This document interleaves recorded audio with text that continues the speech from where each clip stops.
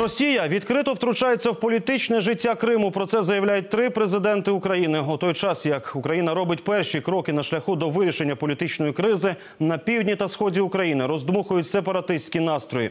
Ідеї представників російської держдуми провести референдум про приєднання Криму до Росії або відповідного звернення Верховної Ради Автономної Республіки Крим мають бути засуджені як заклики до повалення конституційного ладу та порушення територіальної цілісності України, заявляють Леонід Кравчук, Леонід Кучма і Віктор Ющенко.